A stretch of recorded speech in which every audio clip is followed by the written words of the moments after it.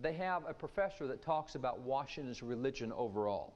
And this professor that introduces us to Washington's religion, he tells us that, like many deists, Washington, and so he starts off by telling us Washington is a deist. Now, why would he say that Washington is a deist? Well, he explains it to us. He says he's a deist because he uses terms like divine providence and divine author of our birth. As David Barton has done before, he reads aloud something different from what the text actually says that he's showing them. The text says Washington used these terms because he was a deist. Barton claims that the professor was citing these terms as proof that Washington was a deist. Barton not only misleads the audience, but he implies that the real historians are deceiving them. And now he's going to zero in on the terminology as if it were the only reason for calling Washington a deist. Many things point to Washington being a deist, including the fact that his own minister called him a deist. Uh, this little thing about the founding fathers used the term providence a whole lot, and therefore it proves they're deist. I get this from professors all the time. You, you look at literally the, the language of the founders, and it uses terms like providence and like all, almighty overseer and things like that. But that's an interesting thing. Uh, by the way, let me show you some of the quotes of academics who, who point this out. It says the Declaration mentions nature's God and divine providence. That's the language of deism, not of Christianity. Christianity would have put Jesus Christ in there somewhere. Christianity would have put the Redeemer of man. But no, no, no, they didn't do that. They, they used things like nature's God and divine providence. Here's another professor. It says, Washington preferred titles such as the divine author of our blessed religion, almighty being, providence, and grand designer, all terms from deist beliefs. And I can keep going on and on. This is called the Geneva Bible. It was printed first in 1560, and from 1560 to 1644, it went through 144 reprints. This is the book that our early forefathers brought to America. You see the pilgrims. This is the painting that hangs inside the rotunda of the U.S. Capitol. This, is, this painting is 14 feet high, it is 20 feet wide. It is a life-size, massive painting of the pilgrims, and they're gathered around a Bible, and the Bible is so big in the Capitol you can actually read the words on the Bible. And if you do, you find out it's a Geneva Bible. It's interesting that they keep using the word providence. matter of fact, the Geneva Bible uses the word providence 100 times in the Bible. Now, I checked editions of the Bible online just in the last week or so. I've only found just a couple of editions of the Bible that even use the word providence anymore at all. But you go back to the most popular Bible in their day, it uses the word providence 100 times. You know what that means? That is biblical language. No, it isn't. The whole reason he has to refer to the Geneva Bible 150 years before the founding is because the 17th century commentary in that edition used this terminology, this one word. He has narrowed the whole issue of deism down to terminology, then to a single word. The deism of some founders is irrefutable, and Barton is desperate to obscure this any way he can. I mean, they tell you from the Bible what taxes are right and what taxes are wrong. Bible's not against taxes, but it's against certain kinds of taxes. Bible's against a capital gains tax. It's, it's, it's against an estate tax. It's against a progressive tax. Bible's not against capitation taxes. He gives no evidence for this whatsoever, and there is no evidence. In fact, the biblical tithe was based on income, and the capital gains tax are a tax on certain kinds of income, as is the inheritance tax. The difference between these and ordinary income taxes is that the capital gains tax is lower than ordinary income tax and affects primarily the wealthy. The U.S. inheritance tax only affects estates over $5.34 million. Yet he thinks it's unfair to have that tax at all. Interestingly, the payroll tax, that is Social Security, affects wages only up to 118,500 per year. There is no payroll tax over that amount. Moreover, it exempts all investment income. With all his talk of fair, flat, and equal tax, he finds nothing wrong with this.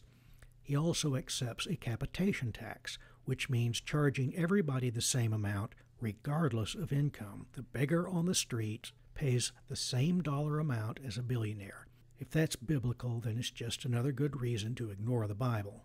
Jefferson is so Jefferson's just a typical founding father, they said, and Jefferson is so secular that when he formed the University of Virginia, it was the first purely secular university in America.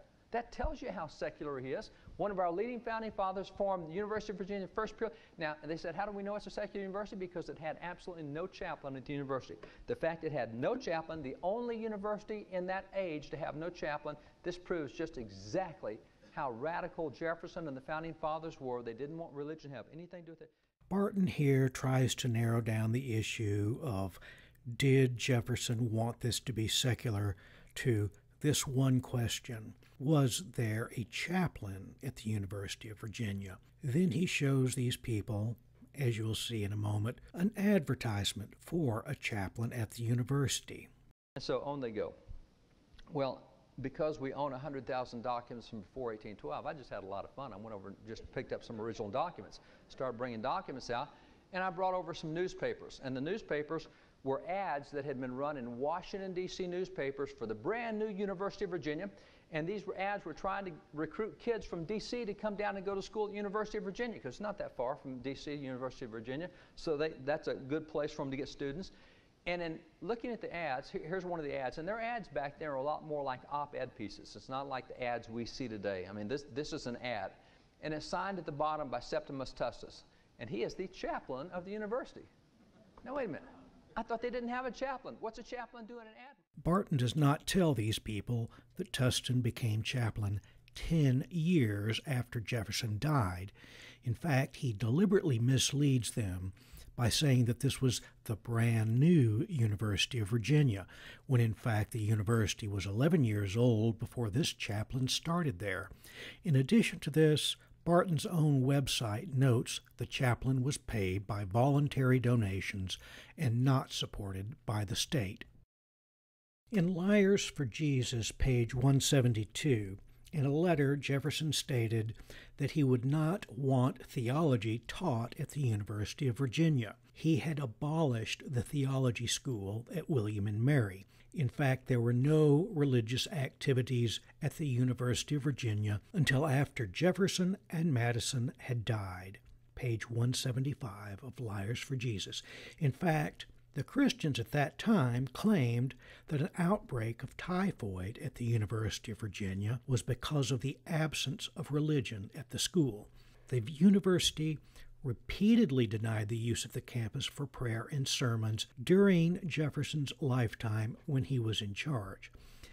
When people tried to get religion into the school, Jefferson suggested that the various denominations set up their own theological schools adjacent to the campus at their own expense if they wanted religious education.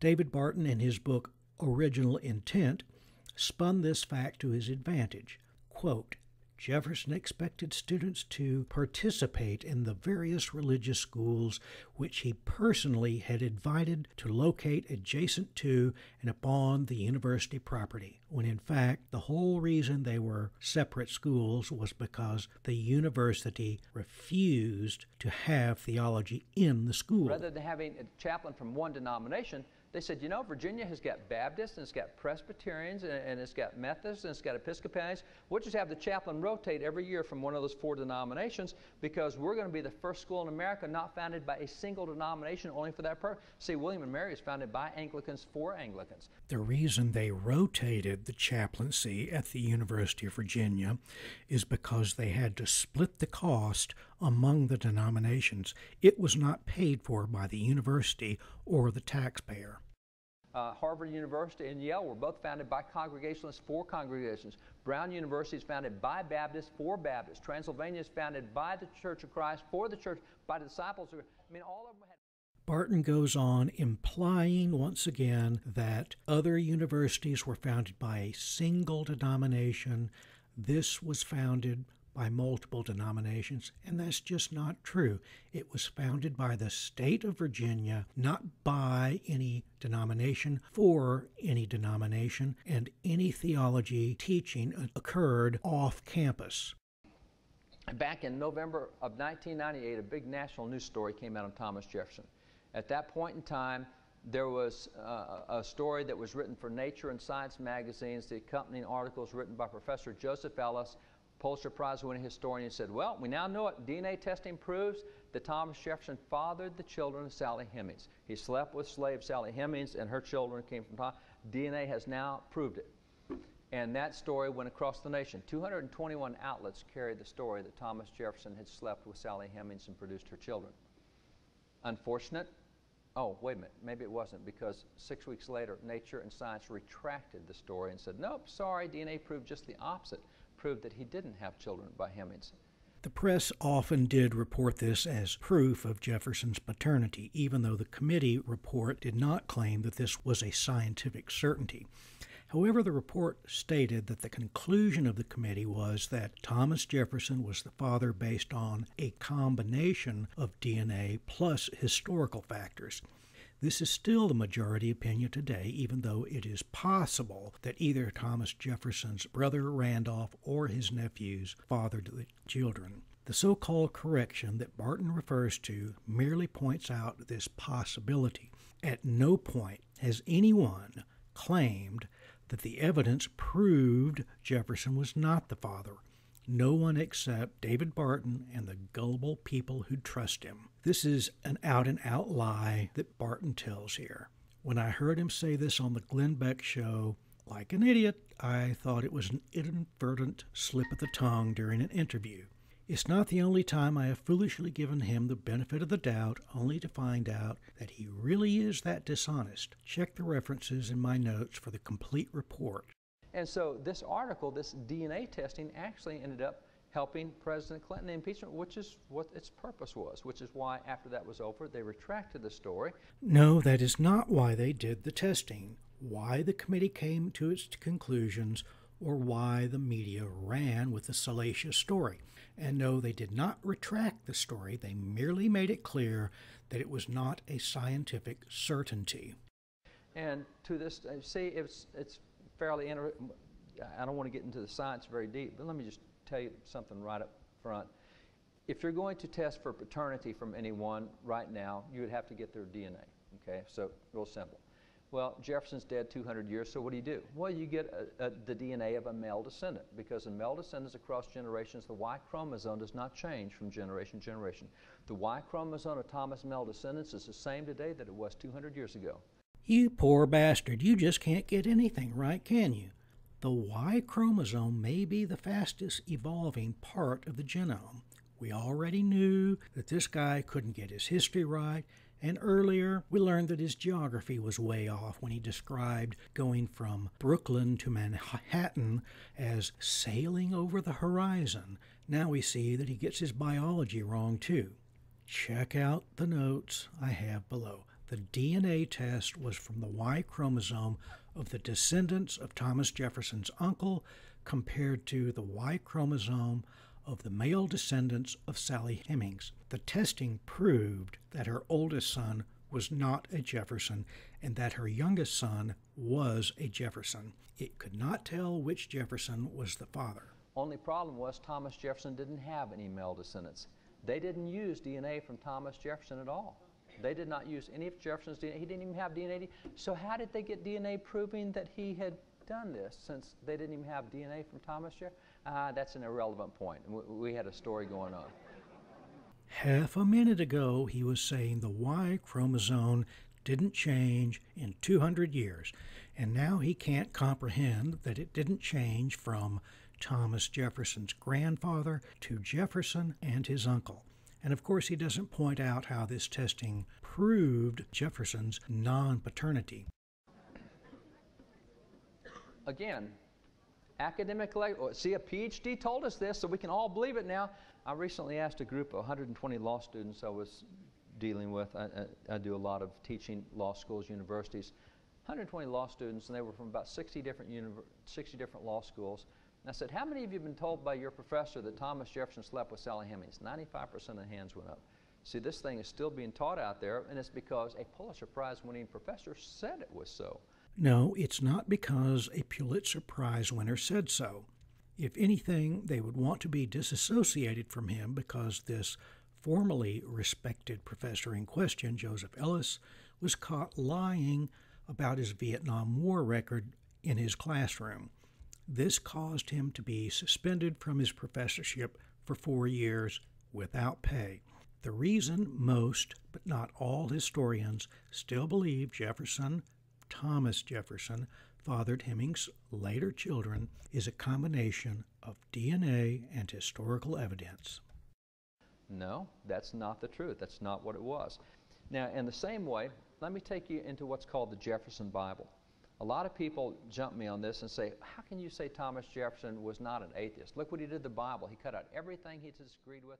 Deist, not atheist.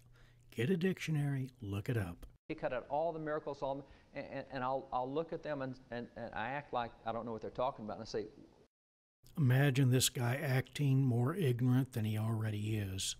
What are you talking about? And they said, You know, that, that thing. He, I said, What thing? Well, you know, the Jefferson Bible. The Jefferson Bible? And then I look at them and say, Which Jefferson Bible are you talking about? And they say, You mean there's more than one? At that point, I know they don't have a clue what they're talking about because there were two Jefferson Bibles that were done. There was one that was done, you know, he went through and, and, cut out those passages. And there was one that was done in 1804, and there was one that was done in 1820.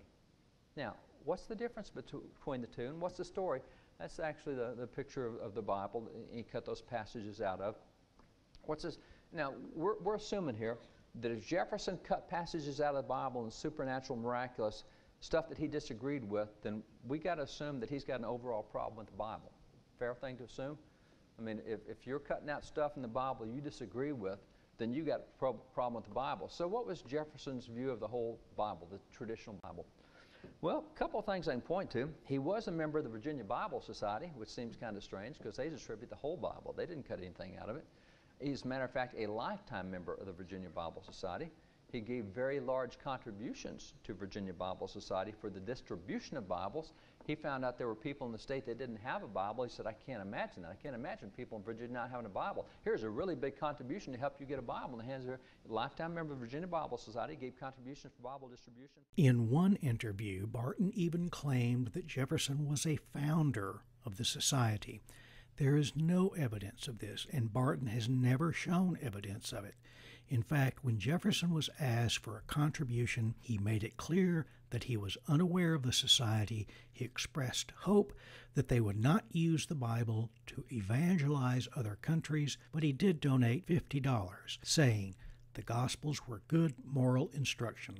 This is the large donation that Barton referred to and is the donation that made him a life member. And Jefferson had made the statement that it was easy to separate from the good from the bad in the Bible as it was to separate diamonds from a dunghill. He also helped print the largest Bible ever done in the United States at that time, called the John Thompson Bible. He also helped print the Woodward Bible, which was an eight volume Bible that was done shortly after there. He also offered to help print, but it was too late to help print what was called the Thompson Bible. He's into printing Bibles, and he offers financially to help print and produce Bibles. Documents show he was a subscriber to these two Bibles. This means that he made a down payment on the cost of one copy of the book before it was printed. This practice was called a subscription. Barton has, an, on occasion, portrayed this as financing the publication. So if I pre order the next John Grisham novel at Amazon, that makes me an investor or a financier of its publication in Barton's magical world of Jesus. The fact is, Jefferson had an extensive library with multiple copies of the Bible in it, as well as at least one Koran. That didn't make him a Muslim or a Christian. In fact, I downloaded a copy of the Geneva Bible for this video. Someone asked David Barton if that makes me a Christian and saves me from eternal damnation. So, according to the records of the Washington, D.C. Historical Society, Jefferson's the guy who wrote the plan of education for Washington, D.C. public schools, which used the Bible as a reading text in Washington, D.C. public schools. Yes, they did, years after Jefferson ceased to have anything to do with the public schools in D.C. Just one more example of how Barton points to what an institution did when Jefferson had nothing to do with it in an attempt to convince his ignorant and gullible followers that Jefferson had something to do with this. So, what Jefferson did was he took those two Bibles out of the White House and he started cutting out passages. Now, it's interesting what Jefferson called this book. This book that he did for the Indians, It's really simple. He took Matthew, Mark, Luke, and John. That's where he cut the passages from, and this is the title he put on it The Philosophy of Jesus of Nazareth, being extracted from the account of his life and, and doctrines given by Matthew, Mark, Luke, and John, being an abridgment of the New Testament for the use of Indians. Barton talks on the Jefferson Bible. He starts with talk of evangelizing the Indians. As we've seen previously, Jefferson had made it clear that evangelizing the Indians was not his desire. Keep in mind that neither of Jefferson's versions of the Gospels were ever published until 1902. And nobody has ever seen the 1804 version that he talks about. If anyone ever did evangelize the Indians, it wasn't with his Bible. So when that book is all over and done with, and we know what was in it because of the passages he cut from those two Bibles, you know, it's kind of interesting. What appeared in that was Jesus raising the dead, Jesus healing the sick, Jesus casting out demons, Jesus the Son of God, Jesus and the second coming, and heaven, hell, and angels. Now, I could be wrong, but that sounds kind of supernatural to me. Raising the dead, healing the sick, casting out demons, Jesus, Son of God, the second coming. And we're told, oh no, Jefferson cut out all the miraculous stuff. What's this? See, this is the 1804 version. That's why I love asking people what they're talking about because they don't even.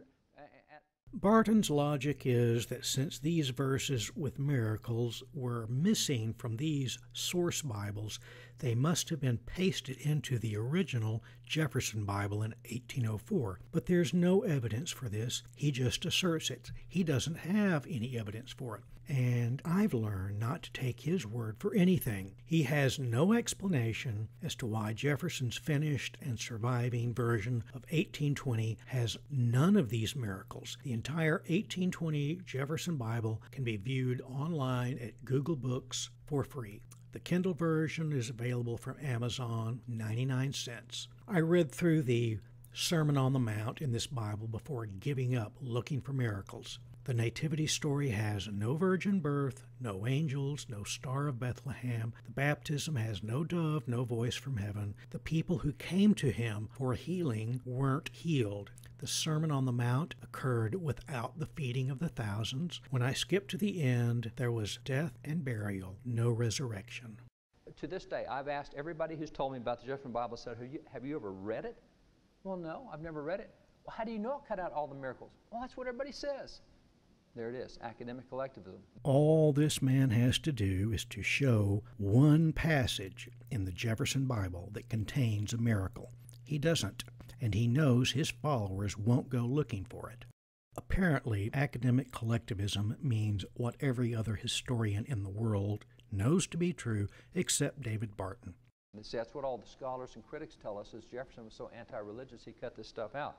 Not so. Yes, it is so. And so what you did was you went through and read every one of these to see where they were strong and where they were. And Jefferson did every one of them. You know what Jefferson did? Jefferson compared every one of them. He said, Jesus beats every one of them hands down. There's nobody that comes close to the moral teachings of Jesus. All of these evil, atheistic, humanist historians who David Barton has been criticizing have always recognized that Jefferson liked the moral teachings of Jesus. Jefferson even stated that he was a Christian in the sense of following Jesus' moral teaching. Barton acts like this is facts about Thomas Jefferson that they don't want you to know.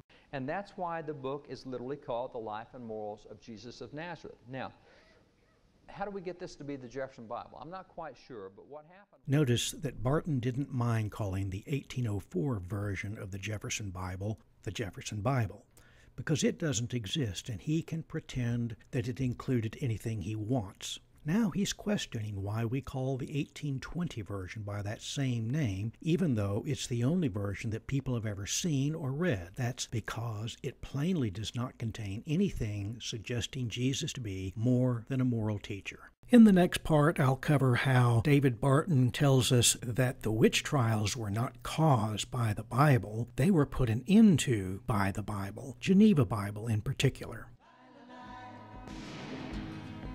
la la